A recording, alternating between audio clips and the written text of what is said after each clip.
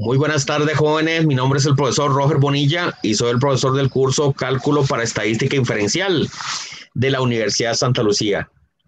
Vamos a, nuestra clase, a nuestra clase de hoy, en donde vamos a ver el primer tema del curso que tiene que ver con el tema de muestreo. Eh, ya logramos entrar a la plataforma, la plataforma del curso, y vamos a ver el primer tema, que es el tema de muestreo. Aquí tenemos, eh, por ejemplo, el, material del curso y aquí hay una lectura que dice muestreo. en, en, PDF bajamos la lectura, vamos a ver de qué trata, leamos a ver de qué trata, ya bajamos el PDF.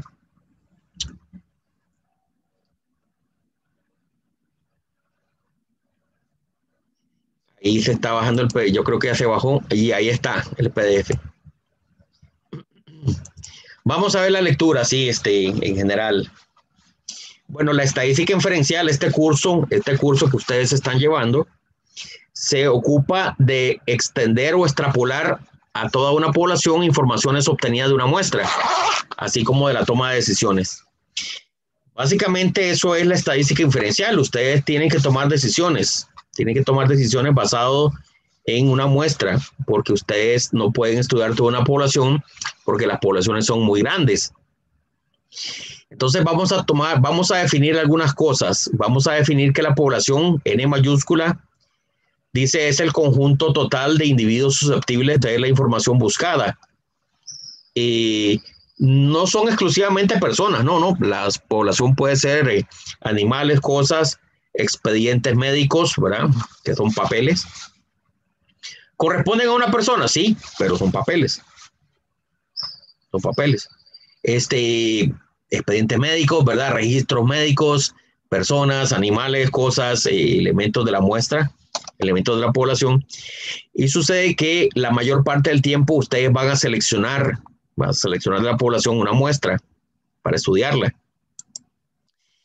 Y esa muestra se llama N minúscula y es el tamaño de muestra, N minúscula. Tienen que seleccionar una parte de la población y el proceso por el cual uno selecciona de la población a la muestra se llama muestreo.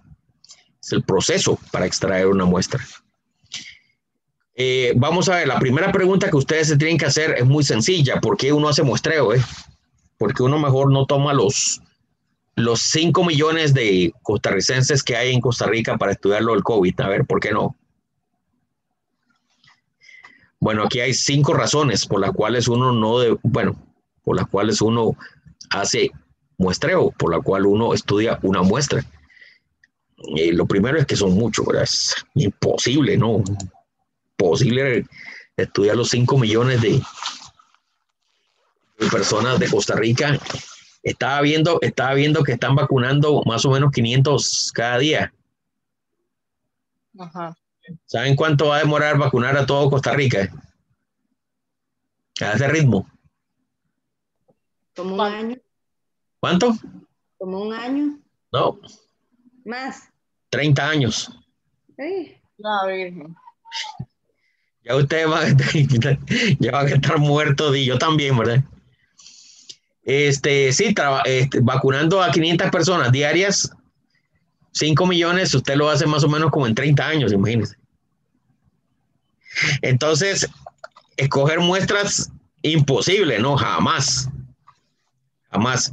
Eh, uno estudia una muestra, ¿verdad? Porque estudiar 5 millones, imagínense, y Costa Rica que es un país pequeño, que es un país pequeño.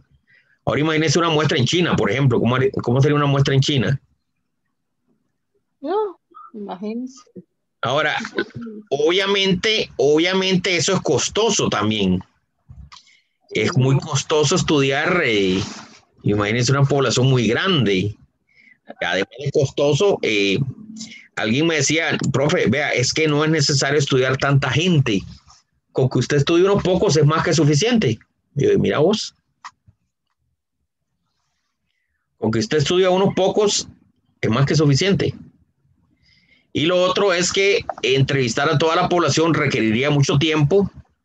Eh, hay una cuestión de plata, hay una cuestión de tiempo, hay una cuestión práctica, ¿verdad? Que es imposible hay una cuestión de, conveniencia que es muy adecuado. Y también esto, bueno, esto no ocurre, que a veces a- las muestras hay que destruirlas. Alguien- no sabe- ustedes saben que las muestras a veces hay que destruirlas, sí. No, yo no sabía. Sí, este, por ejemplo, llega y le llega a usted un, un embarque, ¿verdad? De, de botellas de vino, ¿verdad? Y, y hay que hacer un muestreo, ¿verdad? De botellas de vino, ¿verdad? Eso me pasa a mí con frecuencia, ¿verdad? Ahora hay un container y deciden, bueno, tenemos que estudiar una muestra de botellas de vino. Y yo les dije, destapen 200 botellas de vino y calcule y, y hágale las pruebas. Profe, me dice, eso es carísimo. ¿Por qué? destapar 200 botellas de vino y ¿qué hace después con el vino? Le pone el corcho. No, Se da cuenta que cuando ya usted le jala el corcho, ya esa botella ya, ya desecha. claro, se tiene que botar, sí.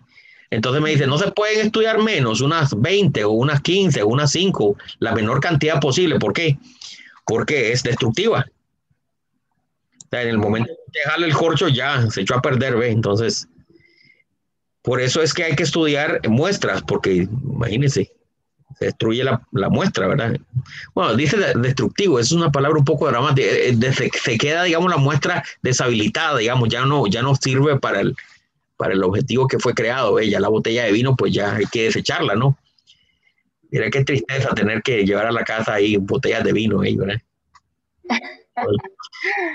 Tranquilo, puede traer para acá también. Yo con todo el dolor de mi alma voy a tener que llevar esta, esta caja de botellas. Yo le voy, le voy a ayudar a desechar. Voy a llevar esa caja de botellas de vino que ya las estudiamos y, y salieron buenas. y con todo el dolor de mi alma, ¿verdad? Ahí con el corcho, no importa, pero. Eh, bien, ahora, eh, ahí hay algunas cosas que hay que tomar en cuenta. Dice, el parámetro, dice acá, es un estadístico obtenido a partir de la población. Por definición es desconocido. Solo se conoce cuando se realizan censos. Y el estimador dice, es un estadístico obtenido a partir de la muestra. Se obtienen de las encuestas.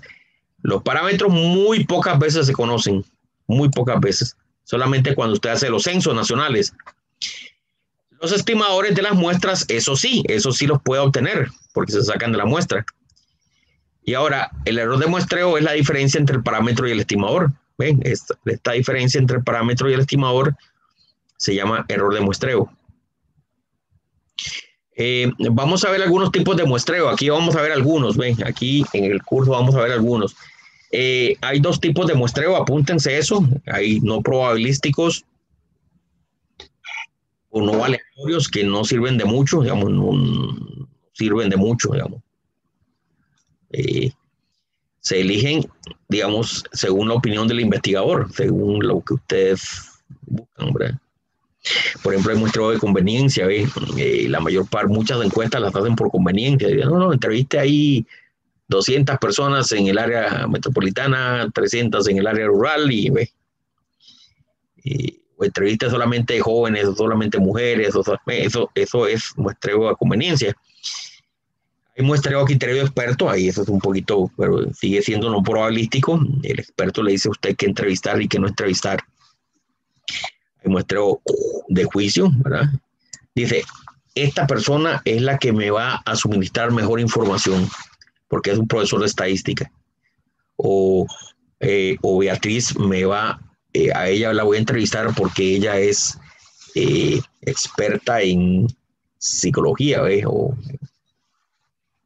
entonces uno a veces, a veces hace muestras de juicio, ¿ve? Usted, uno escoge personas que le puedan ayudar a uno. Sigue siendo no probabilístico. Y el muestreo bola de nieve, digamos, eh, usted entrevista a una persona y le dice, vea, y usted no me puede contactar con otras dos personas más. Eh, esto ocurre mucho en el Facebook. El Facebook es una bola de nieve.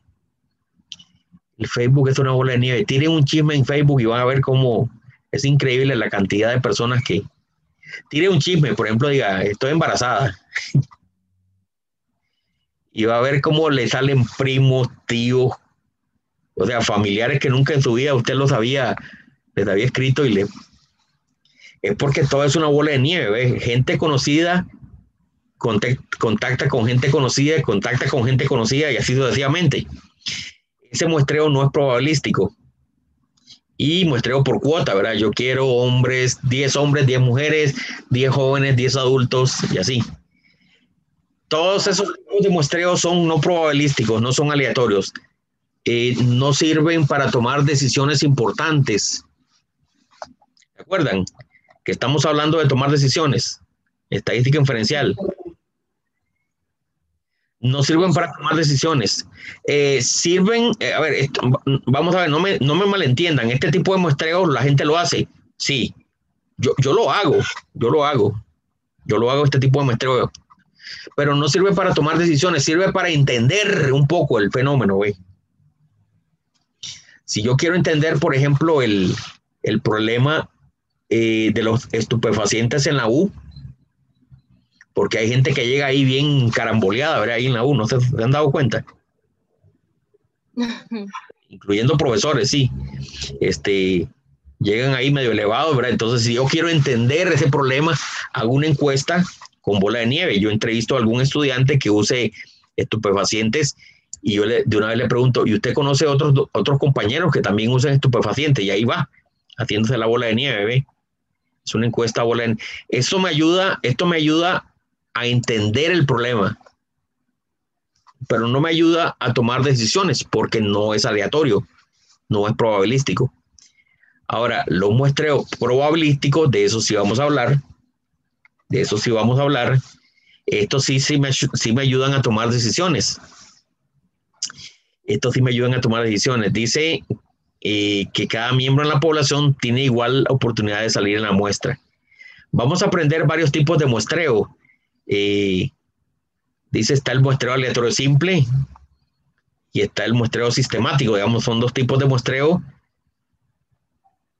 Eh, y el muestreo estratificado. Les voy a enseñar algunos tipos de muestreo. No se asusten con ese montón de, de números. Van a ver ustedes qué simple, qué sencillo es sacar una muestra aleatoria simple. Eh, váyanse por favor aquí al, eh, vamos a hacer algunos ejercicios. Donde dice ejercicios de muestreo, vamos a ver si podemos hacer algunos ejercicios. Vamos a ver si podemos hacer algunos ejercicios. Vamos a ver. Ahora donde dice ejercicios de muestreo. Vamos a ver algunos ejercicios. Ve.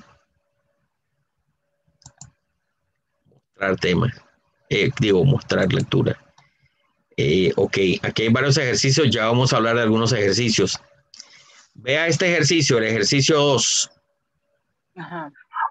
¿Lo ve? Sí. Dice, una farmacia tiene 3.000 recetas. Dice, se requiere extraer una muestra de 120. Ujú. Dice, para hacer un estudio de continuidad, es decir, que usted a las personas las va a llamar, porque en las recetas viene el nombre y, y a veces viene también el teléfono, ¿verdad? Por, entonces, eh, ¿cómo hace usted mediante muestreo electro simple para obtener una muestra de 3.000 recetas? Hagamos el ejercicio 2. Abran por favor el Excel. Abramos el Excel. Excel, abran el Excel. Van a ver qué bonito este curso. Les va, les va a gustar este curso. Es muy práctico. Vamos a abrir el Excel. Aquí tenemos abierto el Excel. Aquí tenemos abierto el Excel.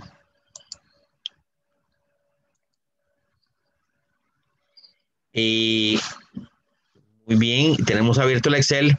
Entonces, vean, vea qué sencillo, vea qué fácil, vea qué entretenido.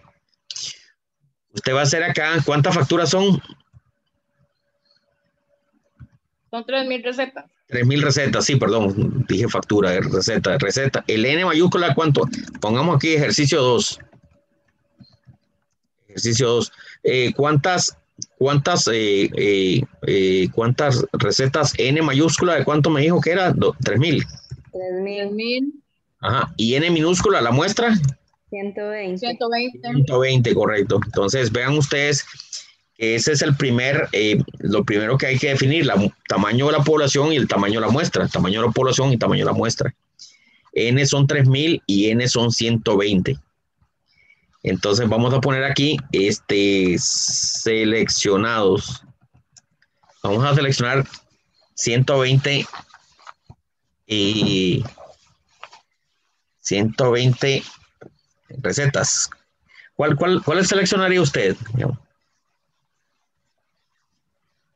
Ay, profe, yo selecciono la primera. Dice, ay, profe, yo selecciono las 120 primeras. Eso no es aleatorio. Eso, no es, eso no es aleatorio. Ay, profe, las 120 últimas, entonces. No, tampoco es aleatorio. Ay, las 120 en medio, tampoco es aleatorio. Yo había leído que era, se puede hacer mediante varias técnicas, ¿no? Como la tómbola y esas cosas. Exactamente, vamos a hacer una tómbola aquí en Excel. Vea la tómbola Excel. Usted, hay una FX, ustedes ven el FX, ¿verdad? Sí. Ajá. El FX, presionen el FX y busquen donde dice aleatorio entre. Usada recién, dice, donde dice todos, dice aleatorio entre.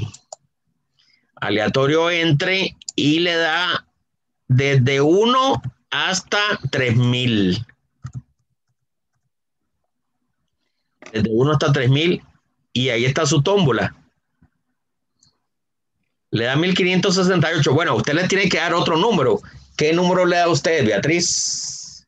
No lo he hecho, profe. Es que estaba siguiendo. Es que no dice aleatorio entre. Vea aquí, le repito, vea.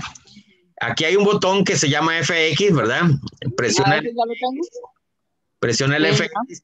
Y ahora aquí busca donde dice todo, donde dice todo, Ajá. y, y busca abrir la función aleatorio entre. Aquí está. Aleatorio entre, presiona aleatorio entre y le da entre 1 y 3000. Es una tómbola. En el momento que usted le da aceptar, le sale el número aleatorio entre 1 y 3000. Eh, aquí sale el 384. A ustedes me imagino que le salió otro número. No puedo, qué raro, no puedo minimizar la pantalla esta para abrir Excel. Eh, ¿cu- ¿Cuál pantalla? La, ah, esta, sí. A ver, déjame ver.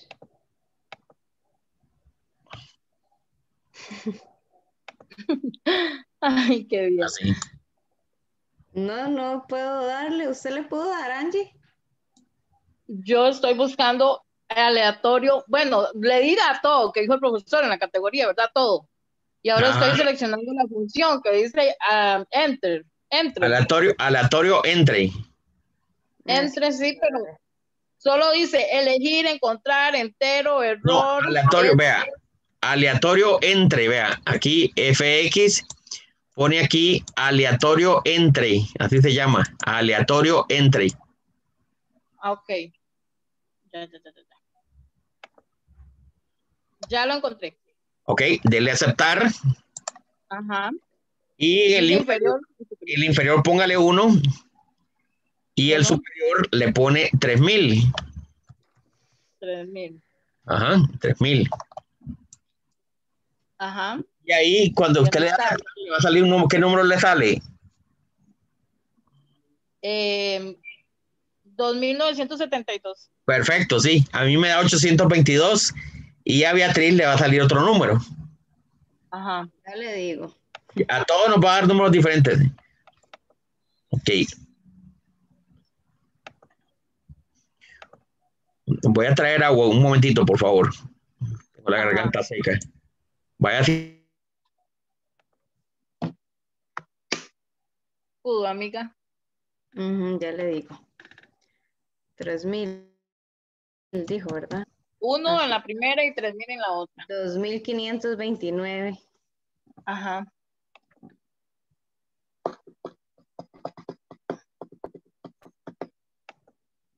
Es para hacer rifas.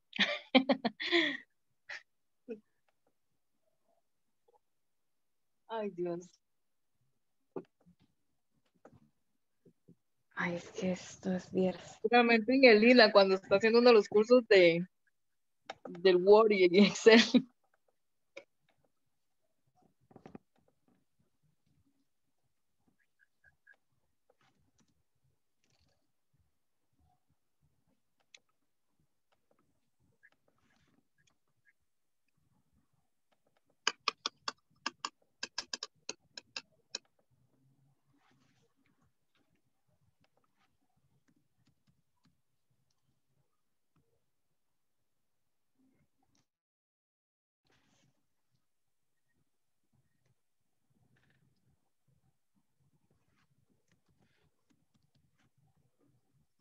Ay, gracias a Dios.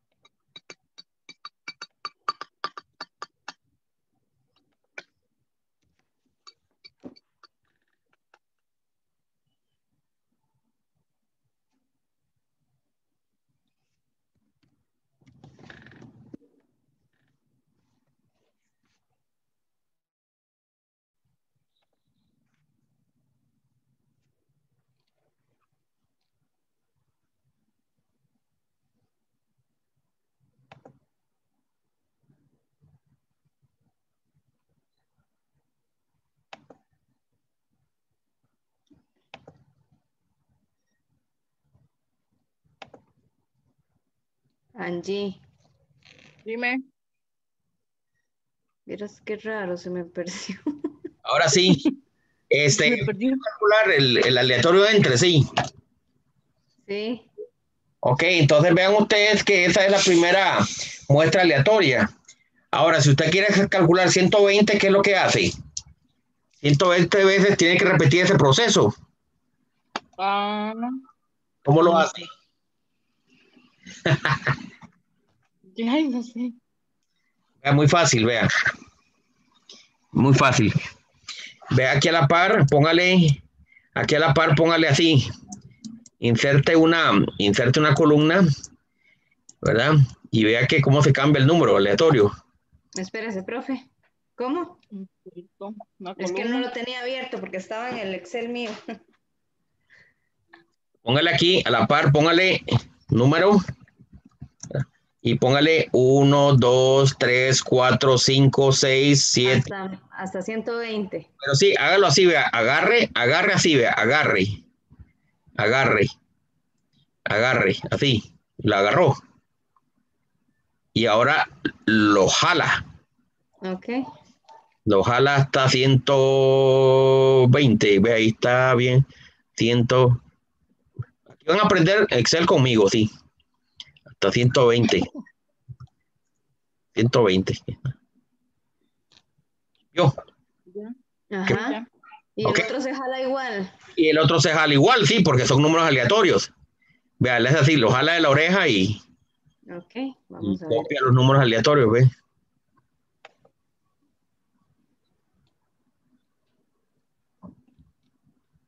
Y lo copia. Y esos serían los números aleatorios. Ven, estos son sus números aleatorios. Entonces, Yo ah, ya lo jalé, profe, y ahora entonces, ¿qué tengo que tocar más? Clic derecho, ahí la, lo que aparece ahí. sí, este, no, aquí solamente lo jala para abajo, ¿ves? Sí, yo lo hice eso. Ok, le salen de todo tipo de números aleatorios, ¿verdad? No, quedó blanco. Le tienen que salir así, números aleatorios, así. Mm, voy a ver, entonces, otra vez. Beatriz lo logró hacer, sí. Ven eso. Me salen puros unos. Es que tiene que jalarlo de la esquina. Es de la esquina. Ah, no, sí, a mí. Vamos a ver. Vea, escriba solamente, vea, Angie, Ajá. escriba primero 1, 2, 3, 4, 5. Sí, ya lo escribí. Agarre 1, 2, 3, 4, agarre los 5, vea así, agarre los primeros 5 y ahora sí, eh, tira hasta abajo. El Excel es inteligente y, va a re- y sabe que lo que quiere hacer usted es una secuencia. Verás qué raro, a mí tampoco me, me tira puros. Sí, es que. Bien. Entonces vean ustedes que ahí están, ahí están los números aleatorios.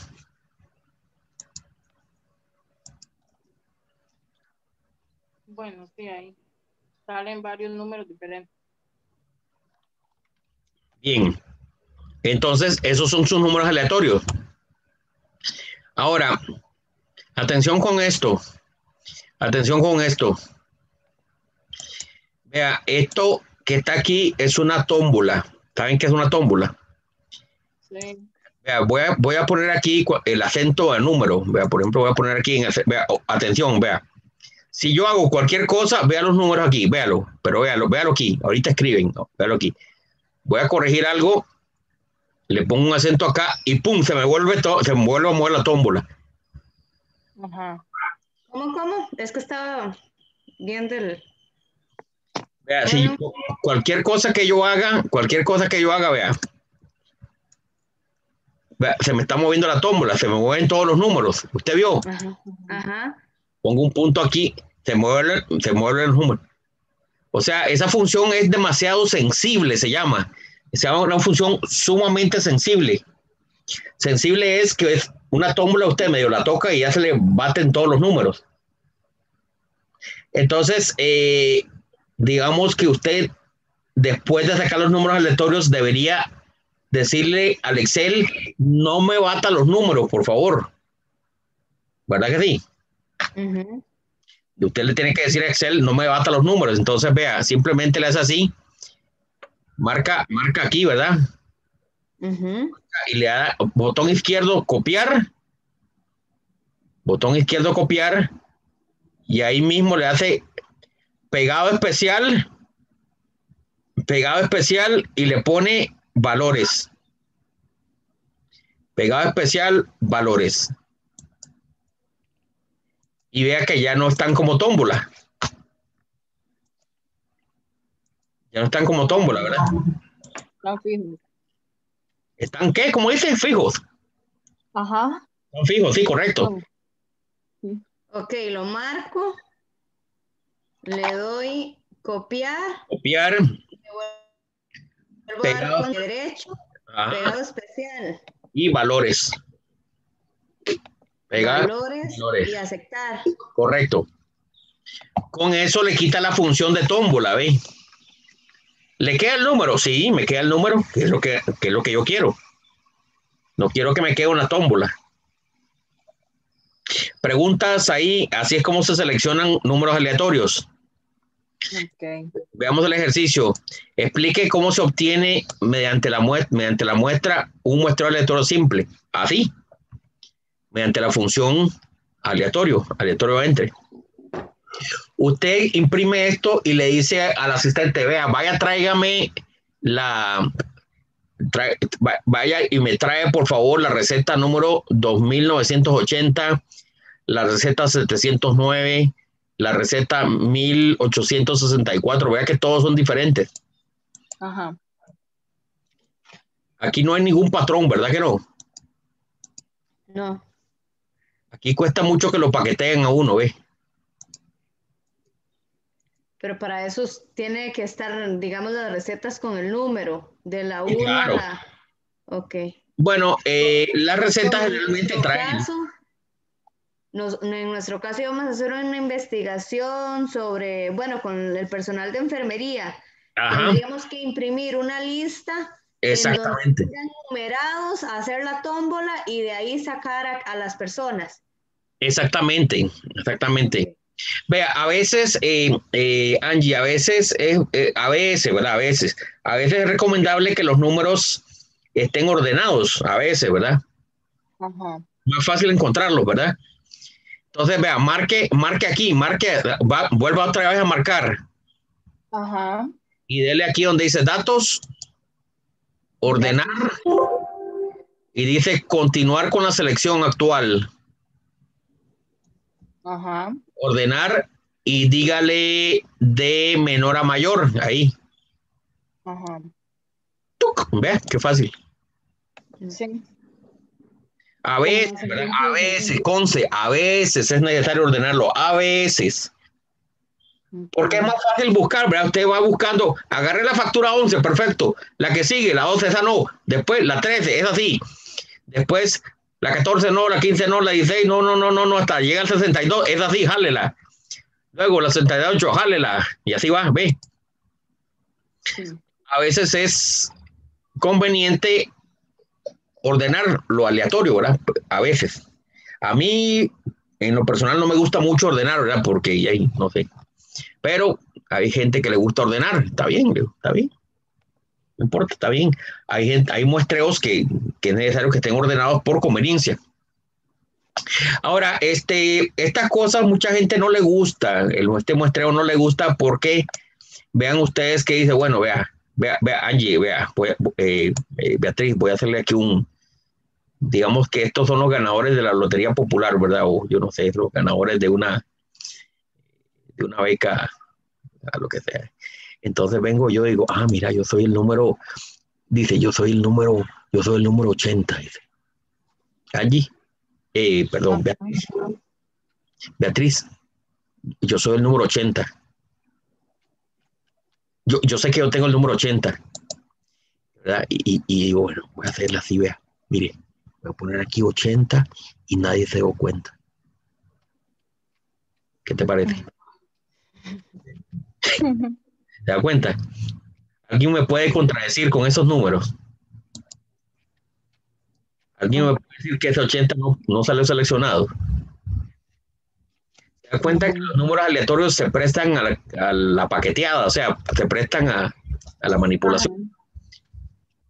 Nadie, nunca nadie se va a dar cuenta que yo puse aquí un 80 y no hay forma, no hay forma de supervisar un número aleatorio. No hay forma. Si un número aleatorio sale, no hay forma de supervisarlo. No hay forma.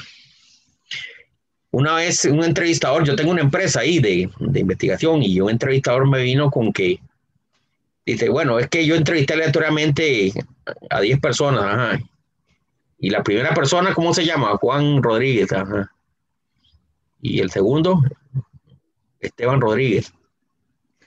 Y el tercero, Rodríguez. Rodríguez, ajá, y el cuarto, Mauricio Rodríguez. Y el quinto, no me diga que es Rodríguez, sí, también, profe.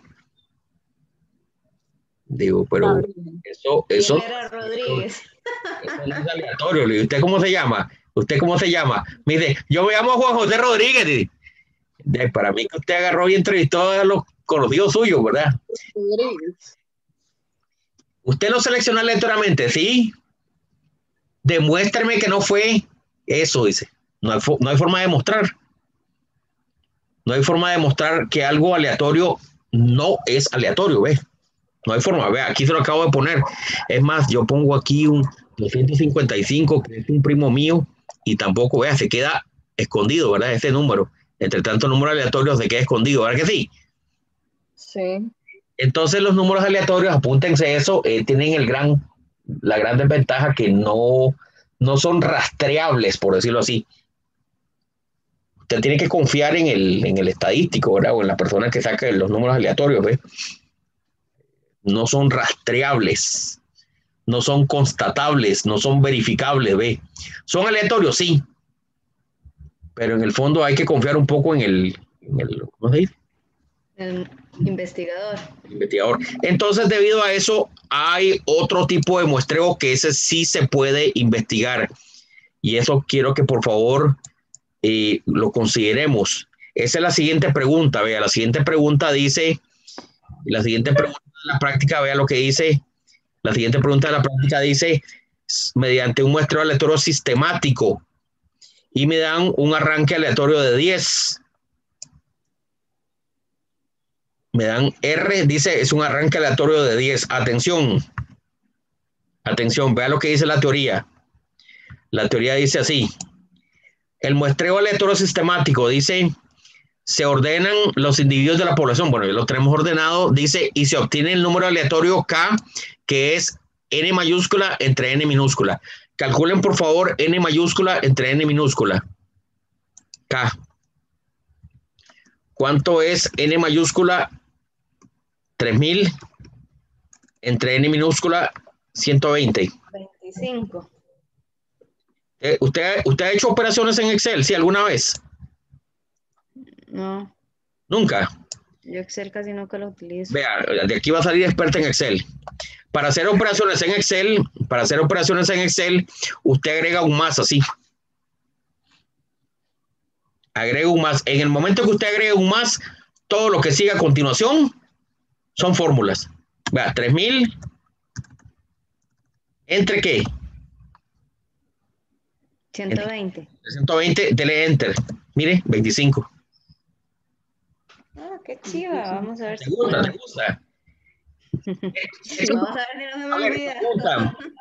Angie, pregunta, ¿esto es un 25? Atención, cuidado. No, no es un 25. Bueno, no sé, ahí veo No, no, es un 25. Es una operación que dice... Ah. Es una operación que dice 25, no es un 25, es una operación. Ok. ¿Verdad? Es una, aquí, es una operación. Es lo mismo con los números aleatorios, ¿se acuerda? Ajá. Bien, ahora necesitamos, dice acá, lo segundo que necesitamos, dice, es un arranque aleatorio entre 1 y K. A ver, un número aleatorio entre 1 y 25, ¿cuál sería? Aquí me lo dan. Aquí me lo dan en el ejercicio. Eso me lo tienen que dar. Dice que es de 10. Apunten de ahí. 10. El R, que es el arranque aleatorio, apunten, arranque aleatorio. Siempre me lo tienen que dar. El arranque ah. aleatorio, ¿de cuánto es? De 10. Bien. K, que es N entre N, 25, arranque aleatorio 10. Estoy listo. A ver, ¿cuál es el primer valor seleccionado según la muestra? Vamos a ver aquí la funga, aquí está. Dice, entonces los elementos de las muestras serían, primero, el número R. ¿Cuál es el número R? 10. Correcto. El primero sería, a ver, ponga ahí, veamos, hagamos esto, insertemos, insertar ahí, insertemos una fila y pongamos muestreo aleatorio y aquí muestreo eh, sistemático. ¿El primero cuál me dijeron cuál era? 10. El primero es 10. ¿El segundo cuál es?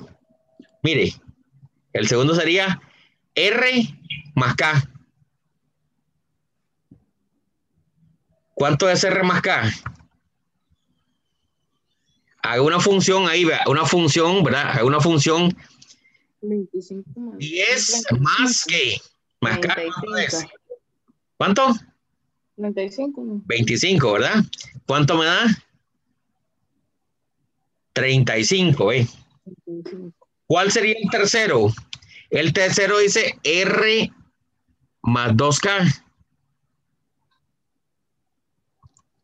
Son 60. Vea, pero, pero vean, y cuál, el cuarto sería R más 3K, el 5R más 4K, luego el R más 6K, R más 7K, R más 8K, R más 9K, R más 10K, R más 11K, R más 12K. Ese, ese, esa R, profe? Eso me lo dan. Siempre va a ser escrita. Siempre me la van a dar, sí. Yo le, si no me la dan, yo le pregunto al jefe, ¿cuánto, qué, cuánto es el arranque aleatorio? Ok. Y esa es la clave. Idea. Eso, eso del, del 2K, 3K, 4K, ¿en, dónde, ¿en qué columna está eso? Mire, 2, 3, 4, 5, 6, 7, 8, 9. Puedo utilizar esta columna, ¿verdad? Sí. ¿Van comprendiendo la lógica? Sí. Sí. Ok, agrego un más. Agrego un más, más.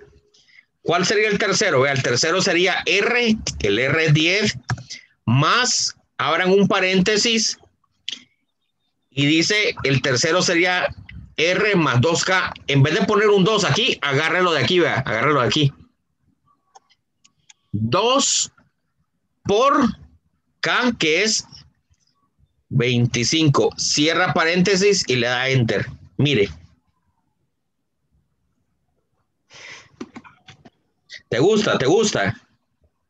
Déjeme ver a ver si lo puedo hacer, porque hoy no he hecho esos últimos. A ver. Caigo la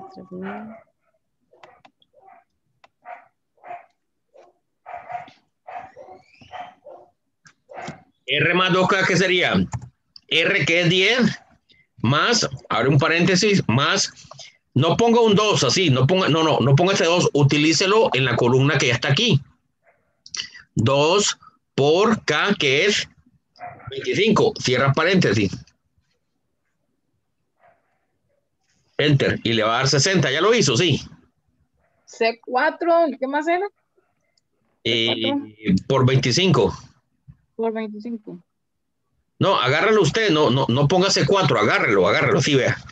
Eh, R10 más, paréntesis, más, agárralo aquí usted, más 2, así, ah, o 25, agárrelo. Ok. ¿Le da 60? Sí. Ok. Ahora vea usted que ya de una forma entrenamos al Excel, ¿verdad?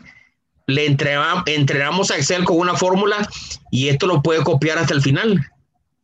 Porque va incrementando 3, 2K, 3, 2K y así. ¿Qué le parece? Ya entrenamos al Excel con una función y ahora simplemente la copiamos. Mire.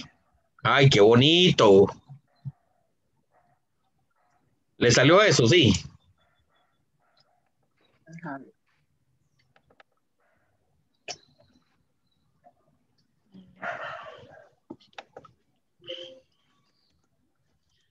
¿Le salió eso? Sí, este, Angie. Beatriz. no lo he intentado, es que estoy.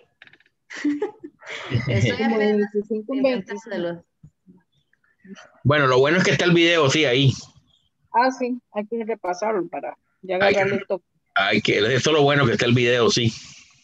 Eh, lo que les quiero decir es que el Excel es muy fácil entrenable. Es una hoja electrónica y yo le agrego una hoja electrónica inteligente. El Excel es muy sistemático, eh, es muy sistemático. Él rápidamente entiende de que usted lo que está usando es esta columna para hacer la operación esa de 2K, 3K, 4K y así va, ¿verdad? Sí. ¿Lograron hacer esto más o menos? Sí. Más o menos. Ok. Entonces vean ustedes que eh, en el muestreo sistemático, la gran ventaja es que aquí no me van a paquetear a mí. Por ejemplo, no me van a, no, no van a paquetear. Por ejemplo, si escogen el número 5, ¿y dónde sacó el número 5? A ver, venga para acá, dice. Según los números, los números electorales tienen que ser primero el R, el R es 10, porque usted cogió el 5. Sí. Aquí no, aquí no hay paqueteable, aquí no hay paquete. Como hay una fórmula involucrada de cada uno, no hay paquete. En el muestreo Mira, en este muestreo eh, aleatorio, ahí sí me pueden paquetear. Aquí el sistemático no me paquetean. Profe, ¿puede poner ahí donde dice los valores de R? El primero es R, el segundo. El primero es R, ¿verdad? R más K. R más K. R, más K1 más K2. 2K. Y R más 3K y R más 4K y así. ¿Qué le parece? Vamos a ver el... Entonces vean ustedes qué, qué ventajas da el muestreo sistemático. El muestreo sistemático, pues no, no hay forma, no hay forma de, de, paquetearlo porque saca uno de cada 25, más o menos. Saca un valor de cada 25. Ese sí es más confiable. Todos son confiables. Aquí lo que pasa es, lo que pasa es que, claro, eh, es más replicable, digamos, es más supervisable. Ajá. Es más supervisable. Por ejemplo, yo sé, yo sé que el número 6, no, el número 6 o el número 3, el número 3, por ejemplo, yo sé que siempre va a ser, el número 3 va a ser R más 2K. Ahí no hay escapatoria. Si no sale el 60, ¿Qué pasó aquí? ¿Por qué me trajo otra factura? ¿Por qué no me trajo la factura 60? Según la fórmula tiene que ser 60 y ningún otro. Ajá. Ya me trajo el 59. No, profe, es que el 59 es el primo mío. Ah, no, vaya al... Eh, no, no, no me traiga facturas que no correspondan a lo seleccionado por, eh, por sistemática. el muestreo sistemático sí es más supervisable porque hay una fórmula involucrada, ¿ves? Entonces vean ustedes que esta es la respuesta del ejercicio, del ejercicio 2. ¿Qué le parece? Eso es una pregunta. En el examen tal vez les digo, eh, deme los 10 primeros, por ejemplo. tal vez no les pido, tal vez no les pido así, ¿verdad? Que me den todo el chorro de valores. No, no, no, no. Tal vez les digo, denme los 10 primeros. ¿Qué le parece? Bien. Eh, vea, cuidado, cuidado, me hacen lo que me hicieron el, año pasado, el semestre anterior, ¿verdad? ¿Qué? En el semestre anterior, ¿saben que Cuando les dije, sáquenme una muestra aleatoria, ¿saben qué hicieron? Me dijeron, ay, profe, el 11, el 12, el 13, el 14, el 15, el 16, el 17, el 18, el 19. Y yo le digo, ah, y el 20 es el último, ¿sí? Profe, ¿cómo supo? Profe, ¿puedes repetir otra vez lo del sistémico? ¿Cómo sacaste el 60? El sistemático. Ajá. El sistemático, en el sistemático, el aleatorio, el, el sistemático siempre va a ser 1, 2, 3, R más 2K. Ahí no hay. ¿Cómo lo hiciste en Excel? Para ver si lo puedo hacer. Es que vieras que no me salió, me salió otro número que no era 60, me salió 250. No puede ser. A ver, ¿el R cuánto es? Agrego un más, agrego un más. El R es 10. ponga 10 más 10, así. Ajá. Más y abre un paréntesis. Paréntesis 2. agarre el 2. No le puse el más, yo creo que fue. Ah, eso fue. Entonces es 2 por 25, ¿verdad? Más. O 3, ¿no será? no, no, no, el 2, el 2, el 2, el 2. 2, vea, el 2. No el 3, el 2. Ah, ok, sí. Agarra el 2. 1, 2, ajá. Está desfasado. Uh Ok, entonces. Ahora sí. Un más. Más. R, que sería 10. Ajá. 10, abro paréntesis. Ay, me faltó el más, ¿verdad? Ajá. 2. 2 por. ¿Dónde saco el por? El signo, el asterisco. 2 por 25. Correcto. Y le doy enter. Ya enter le da 60, ahora sí. Sí, ahora sí. Ah, ok, y ahora lo jala para abajo, sí. Mire, mire, mire, mire, mire, mire, mire este ejercicio, mire, mire, mire, mire, mire, mire. Pero me da 60 hacia abajo todos. Lo vuelvo a hacer una vez más para que él sepa que. No, pero es que usted le puso qué? ¿Le puso el 2 aquí o le puso C4? Ah, le puse 2. No, no, no. Tiene que ser. C4, ok. Bueno, tiene que ser algo que cambie, ¿verdad? Cada vez que lo copie. Cada vez que lo copie aquí, va, él se va a mover aquí. Más. Vamos a ver. 10 más entre paréntesis. Bien, este. 2 por. Número 4. Siempre va a ser 25, ese sí se queda así. Sí, ese sí, porque ese no va a cambiar, ese es K, ¿verdad? Ese no va a cambiar, ese no va a variar, digamos. 60, 85, 110. Correcto, ahora sí, 60, 85, 110, qué bien. Bien, vea, el ejercicio 4 es así, vea. De, una vez les digo lo que, ¿verdad? El ejercicio 4 describa cómo elegir una muestra de tora simple de 25 entre 8.500 estudiantes de una facultad. Eh, este ejercicio 4 es parecido, ¿ve? Vamos a ver qué más. Este, vea, este.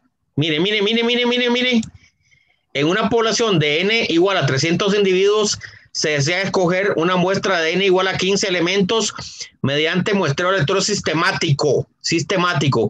Eh, describe el proceso y qué individuos formarían parte de la muestra con un arranque electrónico de 5. Este lo pueden hacer ustedes.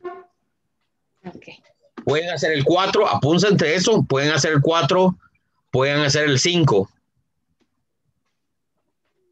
¿Qué más? Veamos a ver. Eh, bueno, ya vimos muestreo, a ver, ya vimos muestreo aleatorio simple, ya vimos muestreo sistemático, ¿verdad? Sí. Apúntense ahí. Ahora nos falta el estratificado, apúntense. Muestreo estratificado. Vamos a poner acá Pongan ahí muestreo estratificado. Vean, aquí sigamos leyendo la teoría. Muestreo estratificado dice, se divide la población en clases homogéneas. Vamos a dividir la población en clases homogéneas. Esas clases homogéneas se llaman estratos. Por lo general son grupos de edades, sexo, ¿verdad? O sea, pueden ser dentro de la población hay grupos, ¿verdad? Entonces, eh, usted tiene que seleccionar una muestra dentro de cada grupo. Eh, esos estratos dice que se hacen así, se llaman NH. Dice, N es la población total y el tamaño del estrato es NH. Dice que se tiene que escoger una muestra dentro de cada estrato. Eso es todo. Pero ¿cómo escogemos? Veamos, veamos un ejemplo. A mí me gusta trabajar con ejemplos concretos, no en el aire, así como. Veamos un ejemplo concreto de la práctica para que. A ver, dice, dice, en un hospital, el ejercicio 1, pongan ahí, ejercicio 1. Dice, en un hospital que consta de 600 trabajadores, queremos tomar una muestra de 20. ¿Ok? Sabemos que hay 200 trabajadores en la sección A. Vayan apuntando en la sección, sección, pongan sección. En la sección A, ¿cuántos hay? Ciento, no, 200. Esa es NH, ¿ve? La cantidad de personas en cada estrato, ese es NH. ¿Cuántos en la sección B? 150. En la sección B dice que hay 150, muy bien. En la sección C. Igual 150. 150 y en la sección D ahí dice 100. Ok. Ponga ahí total. Y en el total usted aplique un autosuma. ¿Sabe qué es un autosuma? Sí. El autosuma aquí, póngale, eh, vea, ponga aquí un autosuma. Eh, el autosuma es, eh, es, un, es una letrita aquí, ¿verdad? Este, esta que está aquí, ¿lo ven aquí? ¿Ven esta, esta, esta este, este es para sumar. ¿Alguna vez lo han hecho? Sí, ¿alguna vez han sumado? sí. sí lo uso. Ok. Sí, esto se usa mucho en otros cursos, sí. Para otros cursos se usa bastante, sí. Entonces haga el autosuma y ¿cuánta gente hay?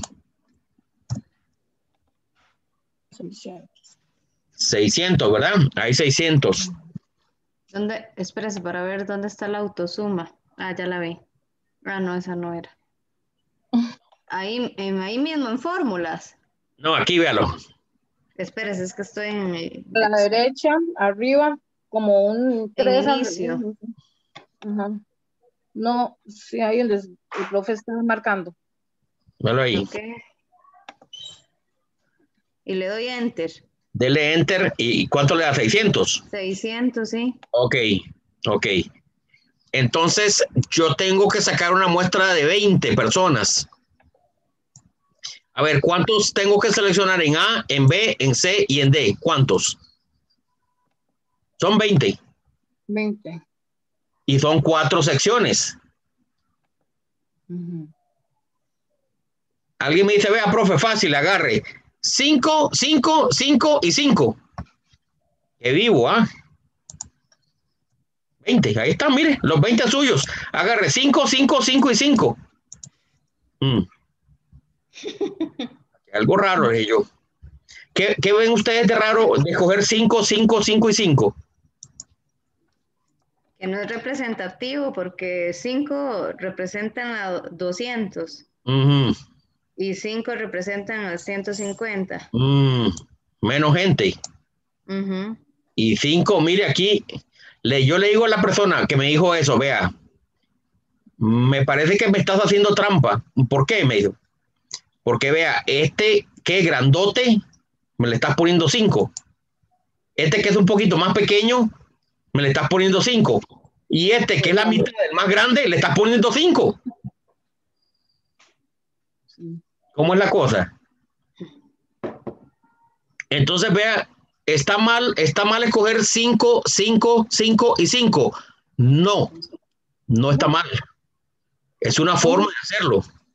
Ah, Es una forma de hacerlo. Tal vez es la forma más, más fácil y menos recomendada. Ve, dice, esa se llama afijación uniforme. Apúntense. La afijación uniforme es que dice, se toman todos los tamaños de muestra de tamaños iguales. O sea, todos de tamaño igual, no olvídese. Ese nombre, póngale 5, 5, 5 y 5. Pero bueno, tenga cuidado. Dice.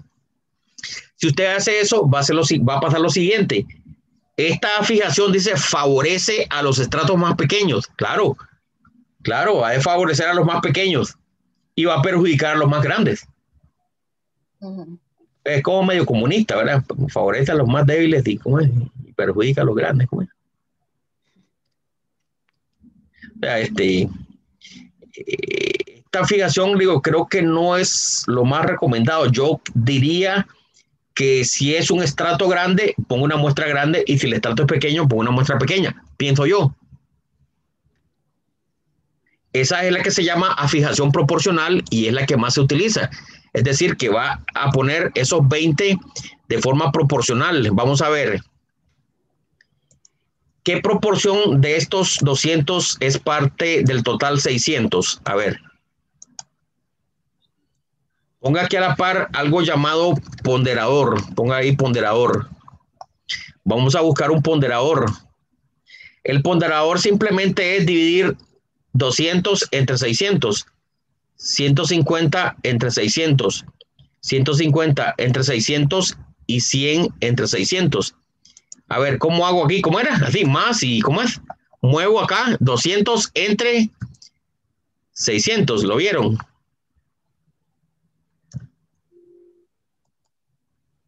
¿Te vio? Agrego un más, me muevo con el ratón acá, toco 200 entre 600. Ok, vamos a ver.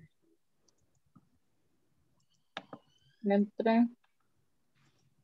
Más Y lo copia. 200. ¿Entre cuánto? 300. 600. 600. Ay, ¿dónde está aquí el para dividir? Ah, ya lo vi. Entre 600. Y lo, y lo copia hacia abajo. A ver, sin, sin hacer el, sin hacer el cálculo, ¿cuánto daría la suma de los ponderadores? Le tiene que dar un, un, Uno, un uno. Uno. uno. Sí, da uno. Sí, correcto, da uno. Y ahora, vea, simplemente haga así. Póngale ahí, muestra. Póngale ahí, muestra. Va a agarrar los 20, va a agarrar los 20, póngale ahí más. Va a agarrar los 20 y lo va a multiplicar por cuánto? Por el ponderador. Y lo copia hacia abajo. Veinte. Va a agarrar los 20, ¿verdad? Así. Va a agarrar los 20, ponga así, 20 y lo multiplica por, ¿por cuánto? Por el ponderador. Está. Lo copia hacia abajo. Esa es la muestra. Esta es la muestra. Ponga la autosuma y va a ver que le da 20. Claro, esta muestra está rara, ¿verdad? ¿Cuántas personas van para la, la sección A de la muestra de 20?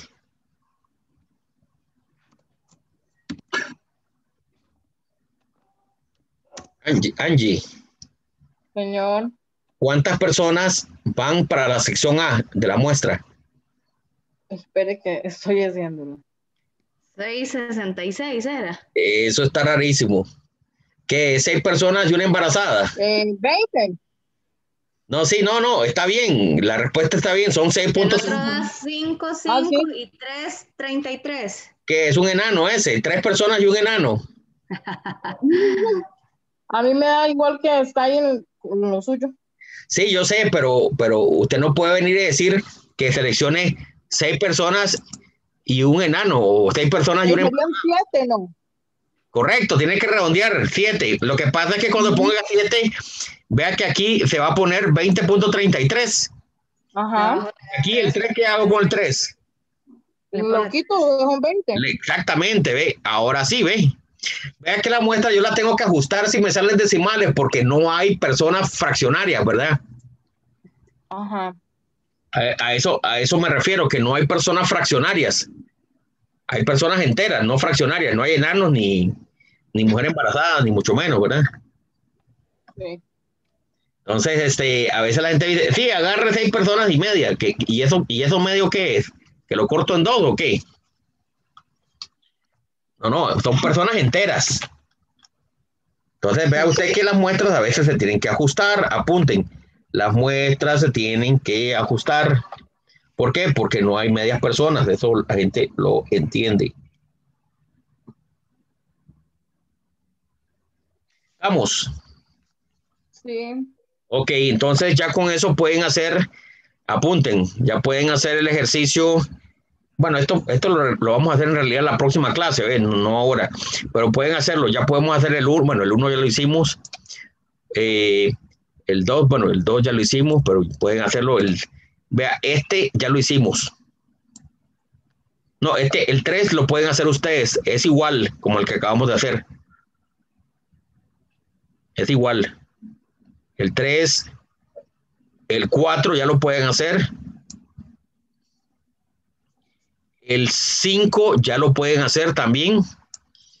Este 6 ya lo pueden hacer, correcto. El 6 ya lo pueden hacer. Este, el 7, el 7, eh, la próxima clase lo, pues, se los puedo explicar porque ya, ya casi se nos va el tiempo ya para manejar promedios, ¿verdad? Y las variancias, cómo calcular promedios dentro de un muestreo estratificado. Esto lo hacemos en la próxima clase, el 7. Déjenmelo ahí, este, aparte. Y el 8, del 8 hagan solamente, del 8 hagan solamente, eh, a ver, del 8 hagan el A y el B, apúntense.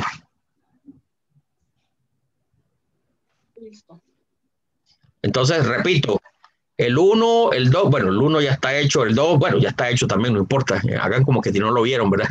Hagan el 1, el 2, el 3, el 4, el 5, el 6, el 7 me lo dejan ahí aparte, por favor, que ese es el, ese es el del examen. y el 8 solamente hagan el A y el B. Y la próxima clase continuamos con muestreo. ¿Qué les parece? Está bien. Bien, este... Eh, Eso es como tarea, profe. Bueno, no es tarea, es, este, es ir adelantando el examen, ¿se acuerda del examen, verdad? Ah, ok. ¿Y se hace parecido a lo, a lo del Excel que acabamos de hacer? Se hace parecido al Excel que acabamos de hacer, este, exactamente. Eh, digamos que este es el trabajo en clase, ¿verdad? Que, que habla el programa, de las cosas que yo tengo. Además, ¿se acuerdan que, ¿se acuerdan que el programa mencionaba varias cosas? El programa mencionaba, creo que trabajo en clase. Este es el trabajo en clases. Este es el trabajo en clases. Como ustedes, yo he visto que, que han estado trabajando conmigo, entonces yo le pongo trabajo en clase, ya lo tiene ganado. Eh, yo soy así, ¿verdad? Yo, pues, mí lo que me gusta es que la gente venga a clase, ve, que la gente venga y aprenda conmigo. Y si usted viene, está la clase, hace los ejercicios, más o menos, ve, en, el, en el examen, vea, le muestro. Eh, digo, en el, en el curso, ve, hay cosas que dicen así, como, ve, como práctica, práctica uno, práctica dos, ve, ese es, ese es el tipo de cosas que, que, que, vamos a hacer, ve, si yo veo que ustedes están haciendo, ¿verdad? Más o menos, de, bueno, tiene ya ganado el... Claro, cuando la gente empieza a faltar a clases, yo, profe, no lo hice, es que no me doy tiempo, ya ahí ya... Sí. Ya les hago yo una cara de caballo, ¿verdad? Ya ahí ya me... Y con una clase que no falte, por si ya no entiende más. Imagínense. Sí, ¿no? Yo ahí ya les hago una cara de caballo, ¿verdad? Y ya, ya, ya no, ya no, ya no está.